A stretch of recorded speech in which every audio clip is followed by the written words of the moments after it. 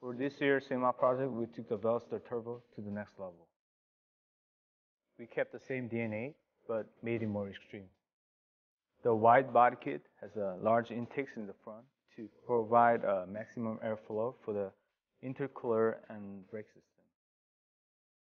We lowered the car by one inch and widened the car by two inches to give it an aggressive stance. The rear of the car ties up together all the design components of the vehicle. Our goal for this build was to make a street car that was also trackable. To start off, we took a Veloster turbo engine and shipped it off to Cosworth for a full build. Uh, we upgraded the pistons, rods, installed a bigger turbo, upgraded the engine management system, and also created a custom intake.